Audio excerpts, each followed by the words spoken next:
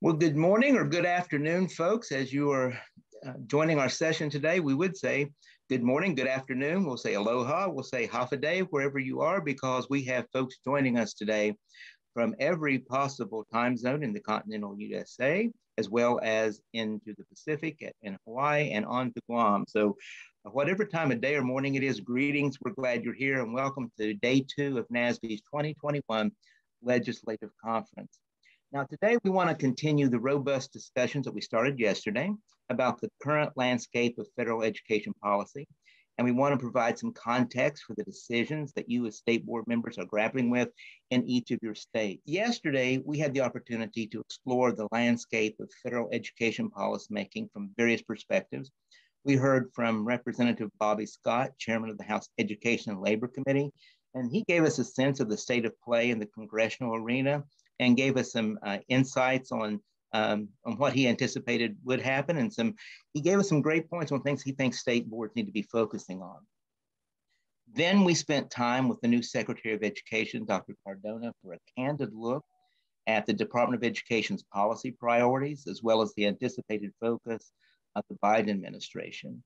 And uh, I don't know about you, but one of the highlights for me yesterday were the two panels with parents, teachers, and students they gave us great insight onto into how they are uh, seeing the, the policy landscape and what is needed from state boards at this time. And then finally, we ended yesterday by looking at the state of play with education committees um, in both houses of, um, of Congress and how best to use our Board of Education voice to influence policy at that level. So we're going to now continue that conversation by looking at yet another perspective on federal policymaking uh, with a panel of folks that can provide us with a unique perspective on the relationship between the work of the White House and the Department of Education. We're calling this converse, calling this session a conversation about moving forward post-pandemic. And that's exactly what we want this to be, a conversation. So today, my role is to simply tee up some questions and get out of the way as uh, we let our panelists uh, give some advice and some insight on state of play federally, as well as what the uh, some recommendations for state boards. And the folks that are joining us today are really very uh, uh, well equipped to have this conversation with us. And uh, I'll do a brief introduction, then we'll get started. We're first joined by Holly uh, Kuzmich, and then Andy Rotherham and Emma Vadehra.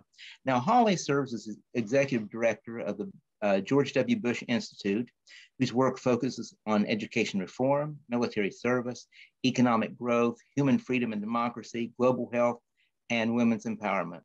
Holly also oversees the Presidential Leadership Scholars Program, which is a unique leadership development program in collaboration with the Clinton Foundation, the George H.W. Bush Foundation, and the Lyndon Baines Johnson Foundation. In addition to her role at the Institute, she also serves in a management role as Senior Vice President of the Bush Center. Now, today, the perspective she's bringing to her to the panel is that the time that she served in the Department of Education as the Deputy Chief of Staff, among some other roles, and she came to the department from the White House Domestic Policy Council, where she served as Associate Director of Education. So that's the perspective that she'll be leading, lending to us today. And also joining us is Andy Rotherham, no stranger to NASBE, one of our great partners and friends. Andy's the co-founder and partner at Bellwether Education Partners, a national nonprofit organization working to support education innovation and improve outcomes for underserved students. He's also a contributing editor to U.S. News and World Report and a senior editor at the 74, an education news and analysis publication. And Andy also writes the blog EduWonk, uh, which I'm sure is on the top of your reading list, as it is mine. And he is, uh, teaches at the University of Virginia and is senior advisor for Whiteboard Advisors. Now, uh, the perspective today that Andy's bringing is that he previously served at the White House as special assistant to the president for domestic policy during the Clinton administration. And he sat in the same seat as you as a member of the Virginia State Board of Education. So a unique perspective that he's offering.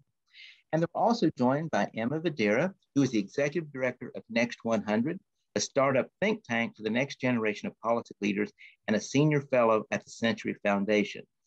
Emma was chief of staff for the U.S. Department of Education during the Obama administration, serving under both Secretary John King and Secretary Arne Duncan. As chief of staff, she worked closely with the White House and across the department to develop, execute, and oversee the administration's pre-K through college education agenda. And from uh, 2009 to 2011, she served as the Deputy Assistant Secretary for Planning, Evaluation, and Policy Development at the Department of Education, overseeing K-12 education policy development. So we have a very well-equipped panelist today to, to uh, help us delve into some um, really important issues. So panelists, the folks that you're talking to today are State Board of Education members, and they pretty well understand the, the, uh, the relationships that exist at the state level because they work regularly with their chief, with the Department of Education, with the governor, with the legislature. They pretty well are familiar with those relationships. But um, kind of a mystery to them is the relationship at the federal level with the Department of Education, with the White House, with all of those, those different players in, in uh, forwarding a federal agenda.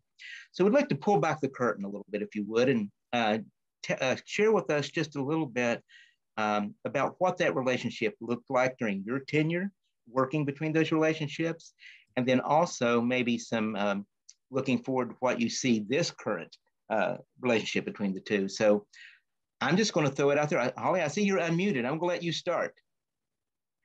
So um, that's it, Robert. Great question. Thanks for having me. First of all, it's great to be here, and thank you to all the the state board members that are participating for serving. It's an important important job. Um, the relationship between the White House and the Department of Education. Number one, so I was on both sides. I was in the White House for three years of the Bush administration, then went in the second term to the department. Um, the thing that was a little interesting for me was my boss was the same in both cases. I had Margaret Spellings as my boss. She was the domestic policy advisor in the White House, and then she was the Secretary of Education. Um, but the relationship is like, I mean, you are knitted together all the time because the policy staff in the White House is pretty small. Obviously, the agency is the one really implementing all of the policy and programs at the federal level. So so the team in the White House is is um, small in relation to like what you have down the street at the Department of Education. So number one, you were constantly working together. I mean, it wasn't the kind of thing where once a week or twice a week you were on the phone with the Department of Education. It was every single day. It was often multiple times a day. Um, and so it's very close. The thing, and I can talk more about this, but I want to let the the others answer too. The thing that can be really interesting is sort of you know depending on what the the president's priorities are within a given period of time more of the focus might be coming from the white house versus the agency or vice versa i had the um, uh, you know i had the pleasure of serving for president bush and i came into the administration in 2002 so I had been on Capitol Hill and worked on passage of No Child Left Behind. And then I showed up in the administration six months later, which was a whole new level of work to then think about all the regulations and implementation of that law over the coming seven years that I got to work on. And so that was done so tightly and jointly between the White House and the Department of Education that it was it was fairly seamless. And because it was such a big issue for President Bush, um, we had a pretty significant role in the White House. A lot of what we did too, your job in the White House is policy, it's budget, um, but it's also thinking about like events and the exposure and when do we need to be out publicly, you know, addressing issues and getting the president out. So it was a really varying role.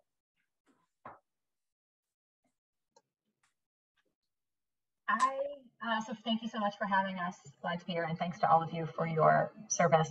Um, I'm sure many of you did not sign up to be State Board of Education members during a pandemic in the past year we've been through for kids. So extra extra thanks for for sticking with it. Um, I agree with everything Holly said. Uh, we I, I hear this is not always true, but I will say in the Obama administration, the White House and the Department of Education had a really um, high touch, high functioning relationship. We had uh, all work together very well. Um, I will say, like Holly, I went to the department off the hill and was shocked by how much work it took to implement and the level of regulations and guidance and legal analysis and words on paper it took. And um, I always thought of the White House as sort of being in between Capitol Hill and the agency in terms of sort of how far into the details you have to get. And that to me is the one other thing I'd add to what Holly said, which is, I mean, she sort of, if you're at the White House, you have to work on all the things. In the depart, in the Obama administration, there were, I think, max three to four people in the White House working on education, and there were, depending how you count them, 4,000 people at the Department of Education working on education, which means there are only a few things where the White House folks can really lean into the details and even there, it's at a far higher level. Whereas at the agency, there's people in the details on everything. So you've sort of got, you know, it, it, I think it matters as someone on the outside thinking about where you advocate to, because the White House can focus on this many of the things, and that's it. The other 90% of things, they're not able to fully focus on if they're not rising to that level of presidential priority, or frankly, the level of something going wrong that um, they're focused on. And so a lot of the other times, sort of like the place to be and the place to focus has to be at the agency because they're the only ones paying attention to a set of the work. Um, yeah, that's the only thing I think. So it's a great question. I don't have a lot to add to what's what's been said. Those, I mean, I I, I agree with all that. I would add, uh, start saying my colleague said, but you can't say enough. Thank you for your service. Uh, being a state board member, it's a it's a lot of time and work at a normal time, and this is obviously not a normal uh, not a normal time. And state boards, I really think sincerely are one of the most under leveraged parts of the education system. There's so much that they can do and so many opportunities there. And so thank you for, for being uh, in those seats. Um, just a couple of quick things I guess I would add. Um, uh, there is a natural friction between the White House and agencies, um, uh, and it can be more or less pronounced.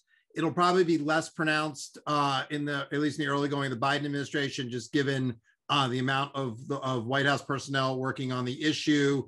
Um, Secretary Cardona, and then who I know you all you all heard from yesterday, and like you know the First Lady has an interest. It'll probably be more seamless. But there are times when with different agencies, and you may see that in the Biden administration and with education in the past, where there's been a little bit more there's been a little bit more friction and that's a, that's a normal thing i mean historically agencies in the white house butt heads on different on different things. One thing that's changed since Clinton uh, to now is just the increasing use of what we call sort of you know pen and phone policymaking. I mean, sort of guidance letters and so forth were pretty either pretty unusual or pretty you know pretty non-controversial stuff and now that like policies being made like that that has stitched the white house and the agencies together a little bit more uh, closely and a little less of that alignment with with Congress because Congress is getting gets cut out of the equation. Um, and then the other piece of the White House, there's an agency that doesn't get a lot of attention, and when it does, it tends to be stuff like so Neera Tanden's nomination um, to, to head OMB. Suddenly, everybody started talking about OMB, and then OMB's already sort of faded back out of the news. Is an enormously important agency. Um, uh, you know, both um, Emma and Holly talked about all the regulations and so forth you deal with those are promulgated ultimately out of out of OMB. It's an important the management function. It's not just the Office of Budgets, the Office of Management and Budget. Management comes first. And it's an enormously important agency. And one of the things the White House staff often ends up doing is running interference between agencies and OMB on, on various things.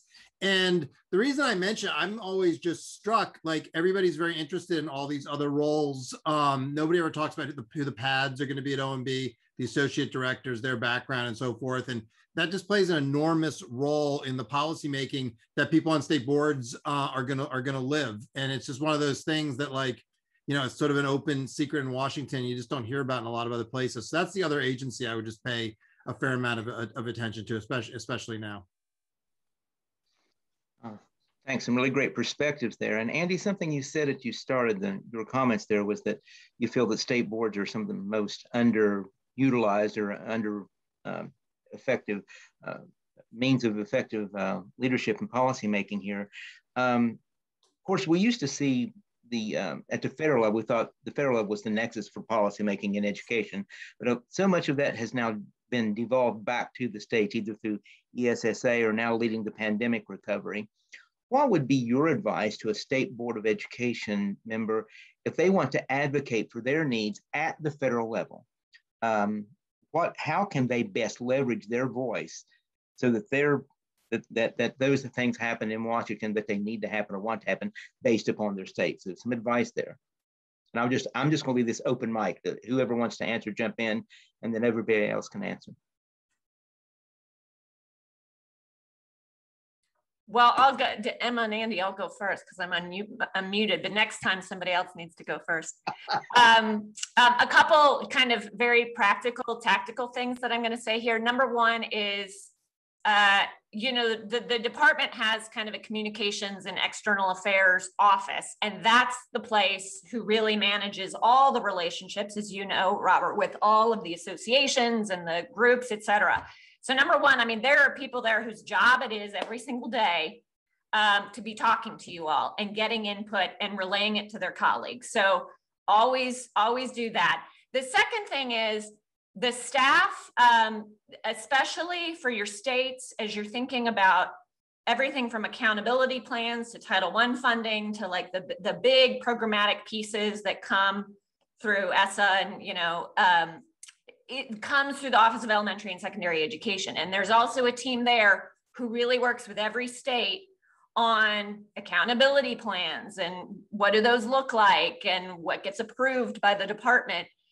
Um, the, the chief state school officer is the one who's most on the front lines in terms of those conversations with that office. But as much as you all, when you have differences of opinion with your chief state school officer, obviously you know you need to find you need to find ways to convey your own opinions as state board members. But when you are in line with your chief state school officer you also need to make sure to really leverage that relationship and those conversations that happen all the time between chiefs and that office of elementary and secondary ed- education who are working day to day on all of these kind of implementation and accountability and funding issues that are such a core of that relationship between states and the federal government.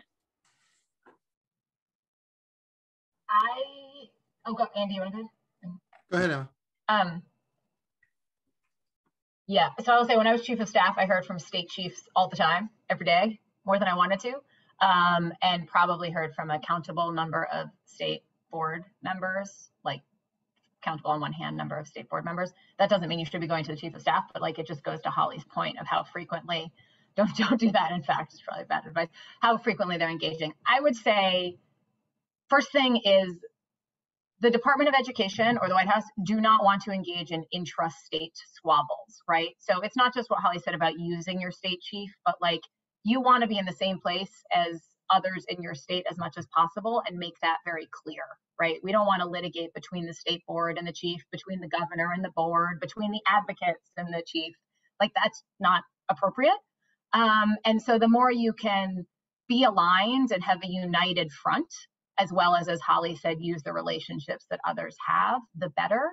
And I would say that is the chief, that is your your governor, whose calls, you know, whether it's the governor or the governor's ed policy staff, the department gets a lot of calls from those folks as well. Um, I would say that's your key leading advocates, particularly if they're ones the agency might care about.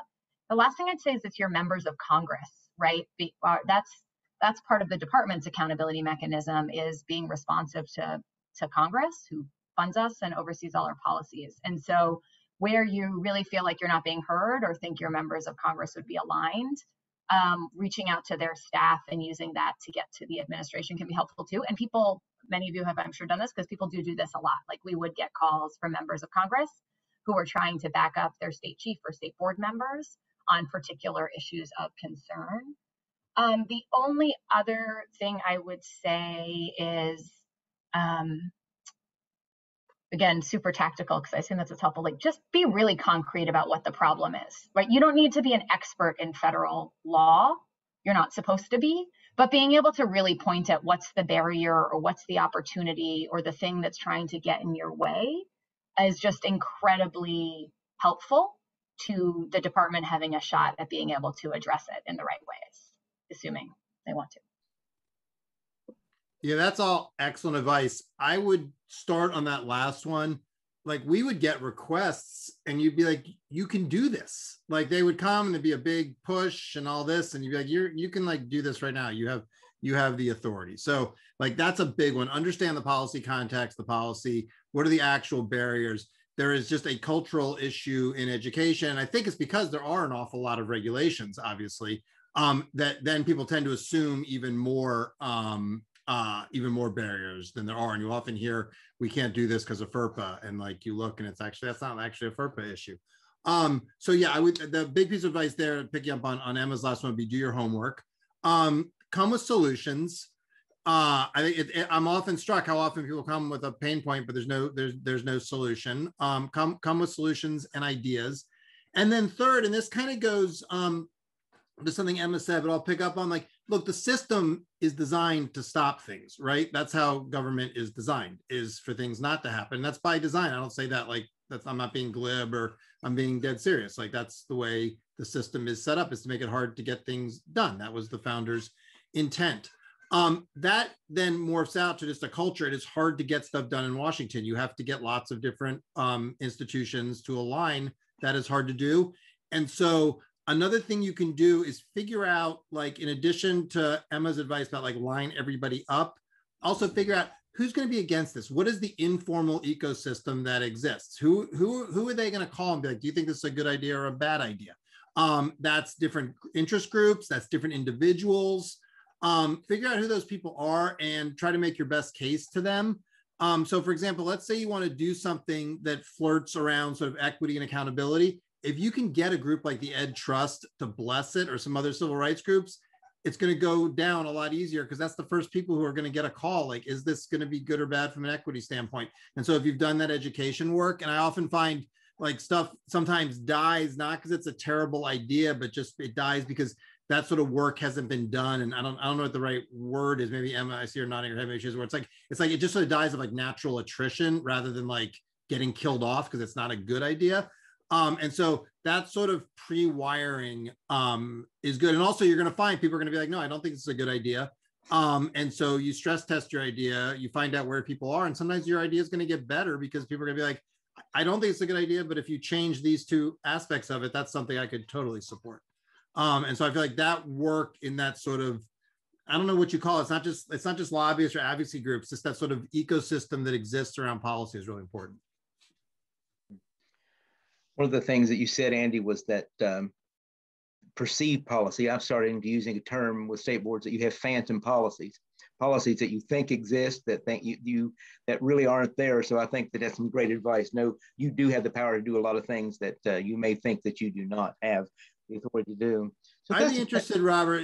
I, Holly or Emma may disagree. But I think like the story of federal policy has been everybody thinks it's been this gigantic power grab, but really, like since Clinton through you know, so starting No Child Behind on, it's really been a devolution of power to the states, and then pulling up from school districts. They definitely have lost some authority around certain things, but states are like you know that's where the action is. And so there's all this you know the, the washington knows best rhetoric that's if you're running for office it makes sense to say that. Um uh particularly if you're on holly's side of the aisle to sort of attack on that stuff. But really most of the stuff is actually state purview now and states they have a lot of latitude yeah that's the point we like to hear well, and I, I just want to echo something Andy said, which he said, come with solutions, or if you don't exact have the exact solution, have an idea, right? Because I think one of the one of the things I always remember was the states that we had the best relationships with were the ones who said, okay, we're having a hard time with this. Here's what we would like to do. How can we make this work? Right. And we'd figure it out. The ones where we had the worst relationships were the ones that came to you and knew that the law said X and that the department had a, you know, had a responsibility to implement the law, but wanted to get out of everything. And so it was like, well, well, what are let's try and figure out what are you, are we at least aligned on what we're trying to achieve? If you have a different way to do it, come and tell us what it is and let's talk about it and figure out if we can make it work. But the harder relationships with states were the ones where it was like, you know, it was just a lot of like, we don't want to be part of that. And it was like, well, we, the, the, the department doesn't have the option to just not implement the law. They've got other pressures, right, from Congress who's saying, please go implement it. We passed this. So, so that's where kind of keeping in mind, like, what does that look like? And coming with an, uh, at least a little bit of a like, we're committed to making this work, but we might need a little bit of flexibility. Can you help us? Yeah, all really good points there. Um, we said the topic of our conversation was really post-pandemic, moving forward. And while we've, we've done some really good uh, level setting here, but let's delve now into some particular issues. And I'm going to uh, ask individual panelists some questions. So Emma, I want to start with you that um, you wrote a piece uh, for Talking Points Memo that delved into a topic um, that's really on the top of mind for state board members, and that's a diverse and inclusive government, the value of hearing different perspectives and uh, from families, educators, community groups, and so forth. And we did some of that yesterday, and we encouraging boards to you know, hear all those various perspectives. So my question for you is, how do you see the Biden administration's goal of a diverse and inclusive government also shaping and changing state government? I appreciate that question because it is what we are trying to do at Next 100. Um, so just the 15 second, because it'll give a lot of context on that. So, so Next 100, as you heard, is a startup think tank for the next generation of policy leaders. But what that really means is that we are about trying to think about how we build a more inclusive policy making system and process. So that's both about how do we knock down the barriers to get people with more lived experience, more proximity to communities, more diversity into government roles and um, policy agenda setting roles. So how do we actually shift the talent pipeline so we have different people at the table making these decisions because there are so many barriers to that table um, that are not necessarily related to being able to shape policy well. And then two is how do we actually think about doing policy differently? How do we get folks like the Department of Education to do what you did yesterday, which is engage with families and educators and students in a way that's meaningful. It's not, I checked the box, I did the thing my state plan said I had to do, I had a roundtable. It's not, I'm rolling out this new agenda, please stand with me at the press conference, but it's actually from soup to nuts, from setting priorities to implementing them to having accountability for them. How are you including impacted communities at the table, which for many of us is families, educators, and students. So that is sort of what we are trying to do broadly obviously where different states are here like i cannot speak to every state but but i would say i think um, the biden administration trying to lean into both of those areas to me feels like a really important place for state governments to be thinking through right? Like who are the senior people in your state government on the board staffing the board in your state educational agency? How do they get there? What experience do they bring? How regularly are they talking to um, families of color in a meaningful way to students experiencing homelessness? What was their path?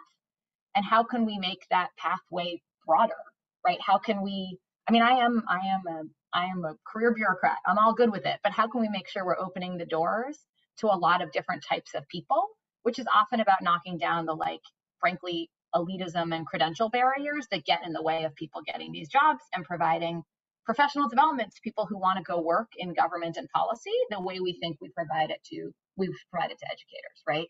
So that's one thing and i think like i don't think there's a state government in the country that couldn't do more to think about how they're supporting and building a more inclusive and diverse staff. But then the second thing is and i think there's a great role for state boards here is what are you actually asking your state agency to do in terms of how it does outreach to and feedback to uh, students and families every step of the way, right? Again, not at the end, not to check off what you have to do for ESSA. Yeah, you got to do it for ESSA. But how do you actually do it in a way that helps you set priorities, helps you implement those priorities, and helps you circle back and create transparency um, to people whose job it, it's not their job to become policy experts it's their job to experience the system and know how you're doing and serving them and i think uh, pushing your state agency on the formal systems and processes they're doing to do that along the way is I think really important. And I think we could we could all go down a long path about the many things we've learned from this pandemic. And I, I think it's really critical and I think we've learned a lot. But when you look at the data across the country of uh, what it looks like for families of color to be sending their kids back to school and how much they systematically are not, even as schools are reopening, and the lack of trust. I'm in New York. The lack of trust that shows by families and kids in the system. For my job, we're having some conversations with students this week. And like I hope one of the things we'll take from this moment is we have to build a system where where families trust and there is a 0% chance of us doing that if we don't do a better job of engaging them through the way. And if they don't see people like them leading the system. And I think that's critical. Great. Now, just a note to our members, be sure that you're, as you're, if, I have a whole host of questions. I could go for three hours here, but if you have questions, make sure you put them in the chat box because I may not be asking the questions that you want to be asked or want the conversation to go. So feel free to jump in here. So, Holly, I want to turn now to you. That um, one of the key tenets of the Bush administration and the work of uh, the Bush Library is using data to measure and to monitor progress to a clear set of goals. As you know, there's a whole lot of conversation about measuring student learning right now to gauge, you know, um, just how we need to accelerate the recovery or whatnot for students. So can you talk for just a minute about what your advice would be to states as uh, they hear concerned about administering assessments in the spring? Yeah. They hear they hear that a lot. yeah.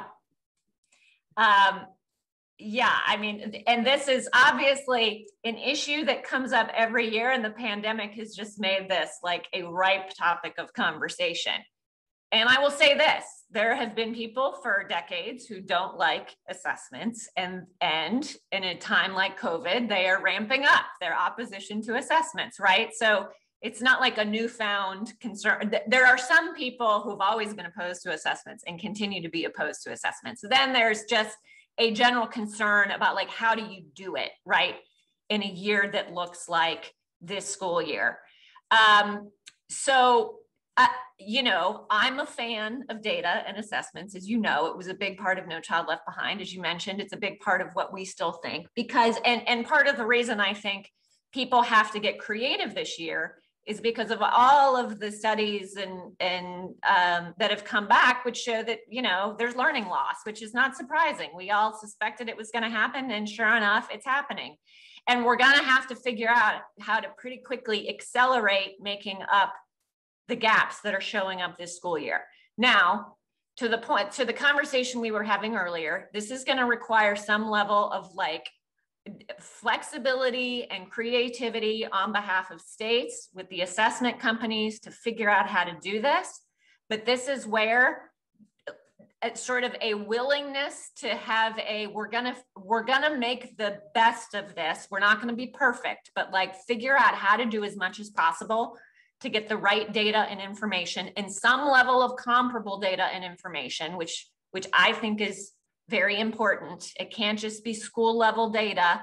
We've got to have some look at comparable data across districts and across the state is something that is a real task of, but, but part of it's like the, the um, energy and sort of uh, point of view you bring to that and knowing and this is where i think the department has generally indicated this like we want people to continue assessments we're willing to have conversations with you about how to do that because we know in a time like this, it requires creativity.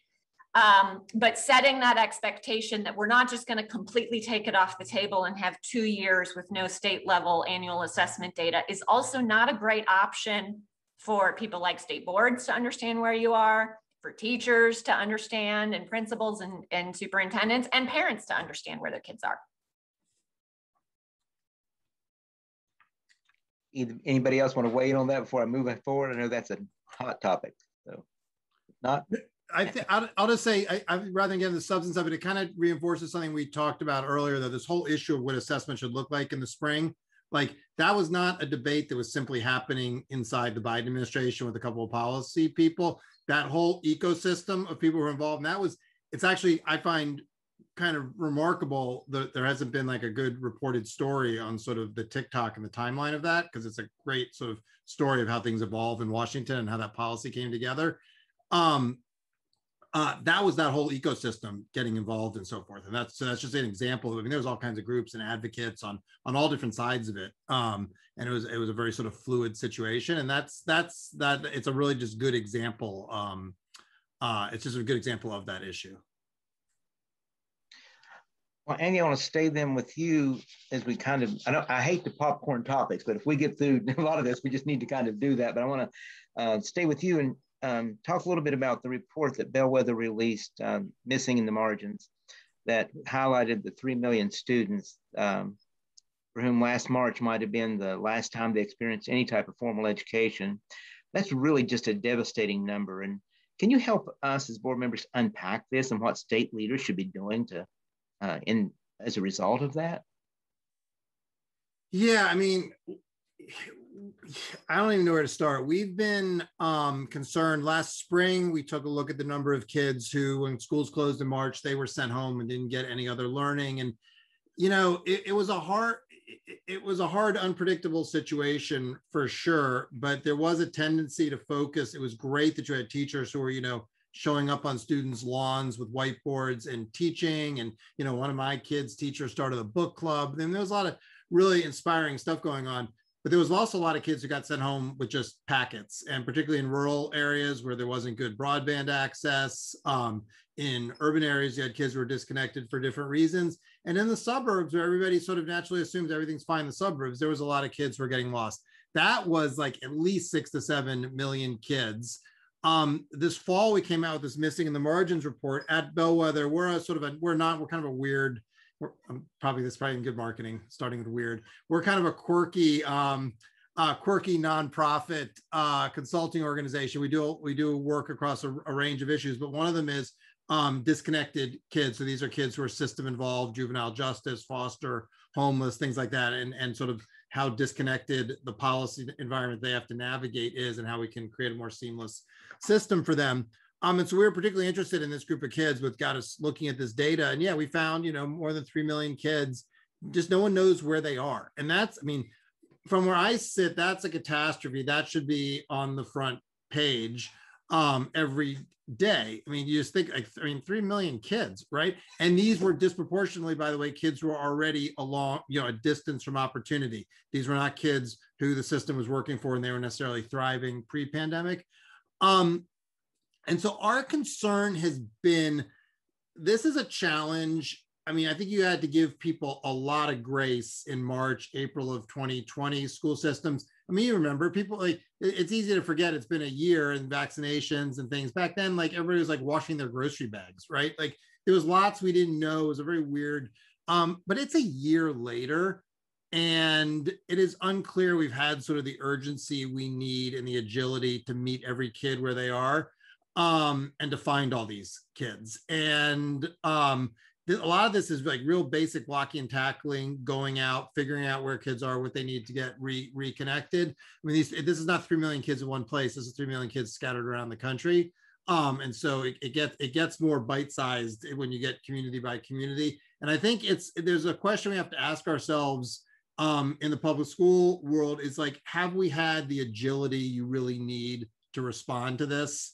and we're still seeing it. I, mean, I think there's a there's a case to be made that the way we're sort of doing kind of hybrid learning and concurrent learning at the same time that it's it's it's ending up not being a great experience for kids whether they're in school or not in school rather than like we're going to deliver really good online for people who want that. We're going to deliver really good in person for people who want that. And so i think it points up this larger issue that state boards do need to think about which is this issue of agility and sort of urgency of response and so forth because you know, and we're not going to be out of the woods in the fall. I think everyone's hoping, you know, obviously we don't have variants or a third wave, but even like if you look at the number of kids who have left the system and aren't back yet, um, possibility of further outbreaks, the, what the realistic schedule for getting kids vaccinated, this is going to be disruptive for some period of time. And I think, you know, at some point we need to have some hard conversations about the the response and has it sort of had that sort of level again of urgency and agility that um, it really should because there's I think a lot of kids um, who really need um, uh, who really need something different than what they're getting right now.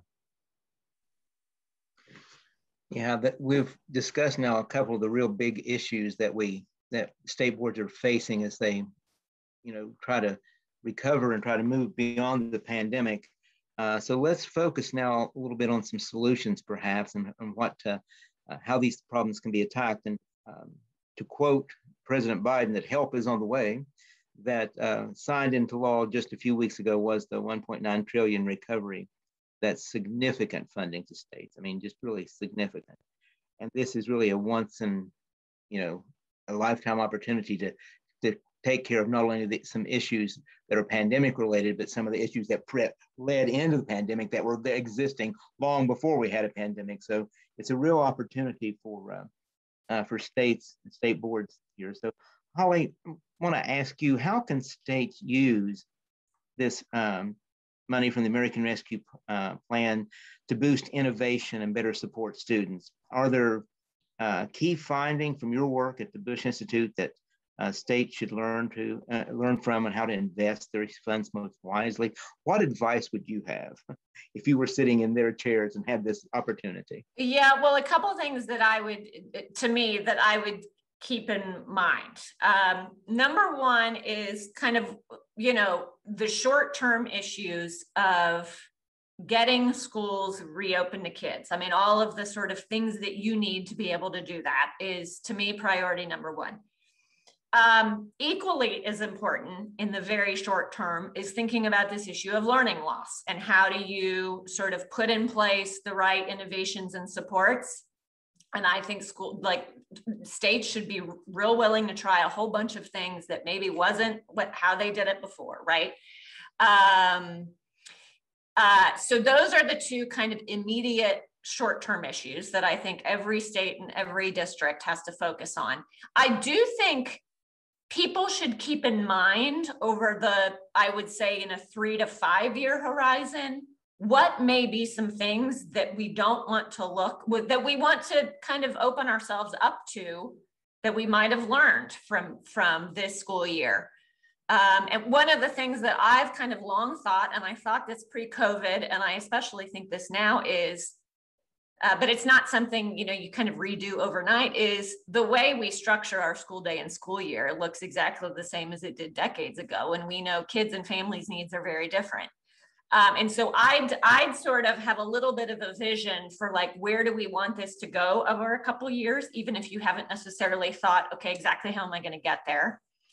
Um, and then the last thing I would just say, because of the, this is a staggering amount of money um, that that's going out the door, and everybody should be real aware that they should be very transparent about how they're spending it. There are going to be a lot of eyes on how people are spending it, and a lot of people wanting to understand how it's being spent. So just be thoughtful about that and be aware and be willing to be transparent with your states about where it's going and how you're spending it and what you're learning from it. Now, while I threw that question to Holly, I'd love to hear the same uh, same question from Andy and Emma. Emma, you're a big spender. Why don't you go first and then? I don't even know what that means. Um, I think so. I, I would I would I agree with a lot of what Holly said. So apologies if I end up being a little redundant. I guess it's a, a few different things. I think um, when we, for folks who are around um, on their state board or somewhere else in the ecosystem in 2009, we had the American Recovery and Reinvestment Act, or ARRA, which was the last time there was not this large an investment of federal funds in education, um, but a fairly large investment of federal uh, additional funds in educational systems. Um, and the money looked similar in a lot of ways in terms of how it flowed out the door um, and look different in one in one key way which was that there were some baseline requirements that states basically had to meet to get the money. And not everybody was happy about that right? There was a we're in a moment of crisis. Don't tell us to fix our data systems right now. We're in a moment of crisis. Don't tell us to raise our standards right now um, which were a couple of the sort of things. And and I think there was some sympathy for that. But I also think in retrospect, um, it's really important at these moments of crisis that you don't, not just don't return to the status quo, but that you're really thoughtful in pushing about what that means in terms of system level reform, right? Like this is a probably, hopefully, once in a lifetime infusion of new dollars. A lot of those are going to need to go just to reopening schools, as Holly said, and a lot are going to need to know, go to academic acceleration. I mean, we're also dancing like we've never done this as a country. The idea, the amount of academic acceleration we're going to need to do with the evidence base we have about a few strategies that have been highly effective in pretty small contexts, such as high dosage tutoring, which has a very good evidence base, but has not been done at the scale of America. Um, we have a lot, we have a lot to do and a lot to figure out. And so I think a lot of this money needs to go to reopening schools. A lot of it needs to go to the evidence-based strategies and they're going to be scaled more quickly than they're ready to be scaled and they're not all going to show the same results and and i think it is actually a key state board and state responsibility to think about how to maximize the results for the kids who are furthest behind frankly and how do you focus the most on funding implementation and support to the districts and schools serving the kids who have been left furthest behind by the system in the pandemic. So there's going to need to be a lot of focus there. But I also think thinking through what are the systems level changes we should make at this moment in time, the equivalent of higher standards, the equivalent of data systems during ARRA. I think I think Holly tagged a few of them, and I think they should be things that come out of our learnings from the pandemic and our learnings from finally having a sort of more honest conversation about racial injustice in this country. But like what who is the system set up to serve? Why was it so hard to get everybody online as andy said? Why was it so hard to get everybody hardware? Like that should never happen again right? As andy said we have a very non-resilient educational system not just educational system everything system. But how can we use this moment and some of these dollars to be more resilient the next time something happens? Because the same things that make our systems more resilient in a moment of crisis will make us more responsive to families with different needs, to families and kids with the greatest needs. And so I, I think that'll look different in different states, but what are the um, longer term investments you can be making so that we can minimize, maximize equity in this moment and then sort of min minimize further disruptions for our, our kids. And the last thing I'd say, because I said it implicitly and not explicitly, is just like, um, how do you have a focus on equity with every single thing you are doing right? And i think um, how are your supposedly neutral decisions not um, not making equity worse right? And i will pick on one thing because i think it's a really good example that that congress tried to adjust but that will just spend a lot on state action. After ARRA and states cut funding, we saw what actually happened was in a lot of places, states disproportionately cut funding to the highest need schools in many cases, they didn't mean to do that, right? If you have a progressive state funding formula and you cut it across the board, your highest need kids in schools see the biggest cut. That's not a good outcome in a moment of crisis. Congress tried to adjust for that this time and has basically told states and districts, you can't do that. You can't disproportionately cut funds for low income schools or uh, kids or districts, and that's good. But how are you doing more than that, right? Whether it's in terms of where your dollars are going or where your deepest support for implementation around high dosage tutoring is going? How are you really leaning in like in or or how you're thinking as andy said the kids who were always left behind and are falling through the cracks again right? Students experiencing homelessness students with disabilities multilingual learners all of whom we didn't set up the best systems to serve them in the pandemic and now need to figure out how to resolve that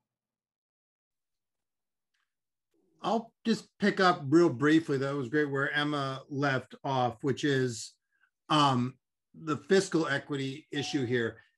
This is 120 billion plus, and that's on top of two earlier uh, tranches of, of money. There's more money that states can actually put towards education. We can talk about that in a sec. Um, if we don't have something to show for it on the other side, I think it will set back the effort of fiscal equity uh, and as, as you know, I think as everyone on this call knows, for a variety of reasons, historical, racial, class, our school finance systems in a lot of states don't work well. Emma just talked about one example of how that can play out.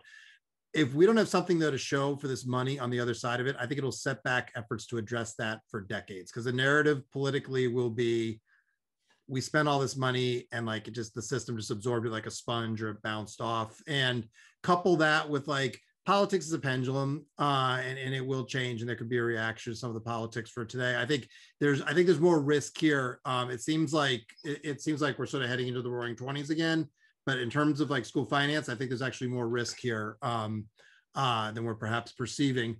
Um, the biggest thing you can do with this money is plan. I think there's this tendency we've got to get it we've got to get it the, the timelines to obligate it are long. You can be obligating this money into 2023 once you start to get the money, it needs to flow down to districts very fast. And so there's there's an opportunity for state leaders to hit pause and plan. And I think there's two things that a little bit work against each other. Nobody wants to take on obligations and sort of build in an overhang with this money, which obviously that makes good fiscal sense. But that can lead to a tendency of sort of how do we just spend it on a bunch of one-time stuff, which could reinforce the problem I was talking about earlier. We don't really have a lot to show for it um, on the on the other side. And you couple that with most states, thankfully, the fiscal outlook is not nearly as bleak as we thought it was going to be, you know, a year ago and all that. Um, it's it's a little more acute in some lo- local places. There are some states, but in general, things are things are better than much better than we thought it was going to be. there's an opportunity to stop and plan, use evidence, um, like not just do tutoring, but like as Emma said, like do high dosage tutoring aligned with fidelity to the way the research says you should do it to be effective, not sort of spread around like peanut butter, which is how we often do this stuff. And so I really think that is just enormously important um, and is just going to require a lot of state leadership just to pause and think, how do we use this as creatively as possible to leverage as much as possible, not just sort of get it and spread it around? Because I do think the political cost for that, a 20% increase, you know, plus over the last year, I, I think the political cost for that, if we don't have some really compelling examples, could could be high. I couldn't agree more. Those are some excellent points, Andy. We we often use the term with state boards that you have is about legacy leadership. What is your legacy going to be 10 years from now? And you don't want your legacy to be the one that you messed this up. You know, what has been your what is the legacy with with the with resources you've been given? So I want to hop now to a question that's in a that's come in from one of our states in the chat box from Indiana. It says Pres- President Biden's agenda calls for new strategies in human capital investments. How do you ensure that we have the diverse, prepared, and highly effective educators and leaders necessary for all students. Any reaction to that? I see Holly, you're unmuted.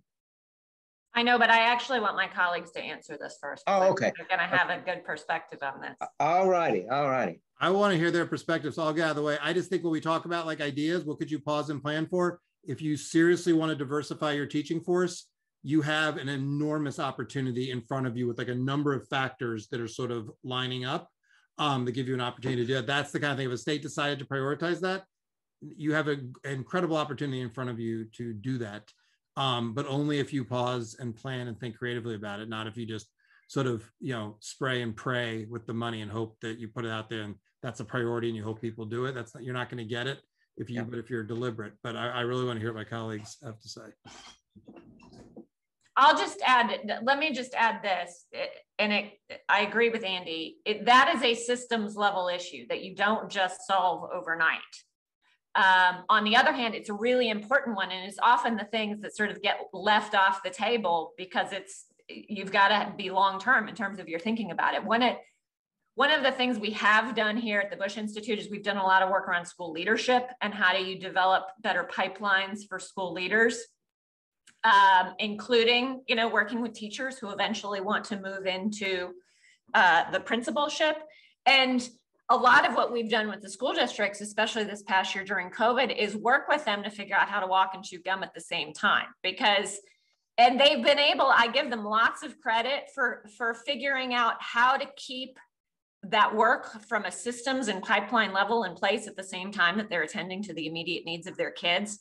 But um, you know, if thinking about this issue of of the teaching force and how you sort of develop better candidates, diverse candidates is really important and requires a commitment and some goal setting and some real like commitment to to having this be a long-term proposition at the state level and at the district level. Yeah. Um, Holly, I'm so glad you said this because to me, this is exactly the example in Andy of like what you could choose to make a systems level priority at this moment in time when there is actually uh, all the a lot of the things you'd want to do in this space will cost money up front, but there is additional money that is that is could go into something that's good for kids. I would add a few things. Um, first of all, I know this sounds really really silly, but like what data do you currently have? There are so many states and districts that either don't know the real diversity of their workforce, or if they do, they don't know the retention and turnover rates by race, right? And that's a lot of what we need to be focusing on, not just who do we bring in, but who stays.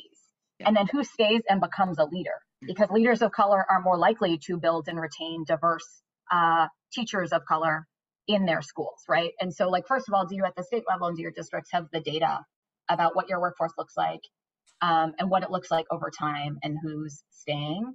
Um, and it costs money to collect that data if you don't have it and to make it transparent. And so I think that is that is one thing I'd say. Second thing I say is just like, what are the real pathways in your state? Where are your candidates coming from? Are you doing, I mean, this is the equivalent of what we're doing at Next 100. Where, where are you going to find teacher candidates? Are you pulling from the communities your schools are in? Are you, you know, there's early exposure high school programs that are really interesting in a number of places that are starting to look at how do you get high school students engaged in teaching with a path through their um, local public college to come back and teach within their system, right? So what are the pathways you're creating from for people in the community to serve and teach in their community as opposed to recruiting everywhere and plopping people in?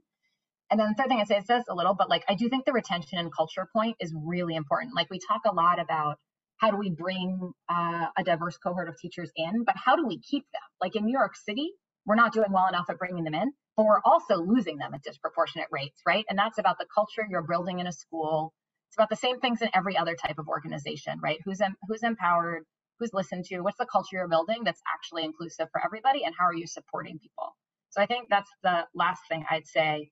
Um, the final thing I'd say, just because it goes to my point four, is at this moment of crisis, I said, where are your supposedly neutral decisions actually having a disproportionate impact, right? And one of the things we know from ARRA a bit um, is uh, often teacher layoffs that are supposedly neutral disproportionately impact teachers of color because a lot of people have done good work to diversify their educator workforce over the past 5 10 20 years. But when your most uh, when your newest teachers are the most likely to be laid off you are you are obviously moving backwards in your diversity goals so it's just a really good example of how these supposedly neutral decisions in times of crisis can actually move you away from your stated racial equity goal that we have seen happen time and again. Well all of the things that you've talked about in terms of the, uh, workforce all those things live within a policy ecosystem that govern those things. And almost every decision around that, that ecosystem falls at the state board table because um, in almost every state, teacher licensure falls at the, t- at the state board t- table.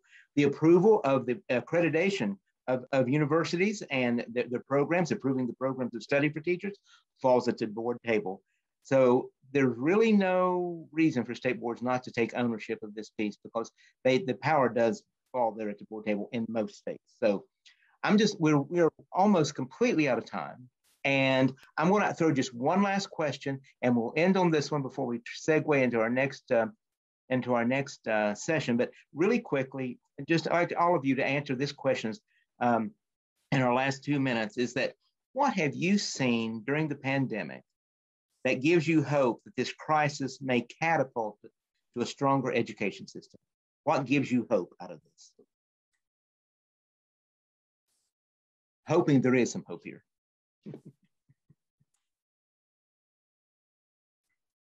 Who wants to be first? Well, I'll go. Number one, I mean, you know, there's so many uh, there's so many examples and stories we've heard and seen and people we know um, where I especially, I think I'm especially heartened by the teachers and administrators at the local level who have just done their darndest to sort of figure out how to reach kids that have been hard to reach during the pandemic. I mean, Andy talked about the millions of kids who've who've sort of, you know, fallen out of the scene. But there have also been these amazing examples and stories of people who are sort of using more innovative ways, sometimes just using really simple ways to like go find kids and families.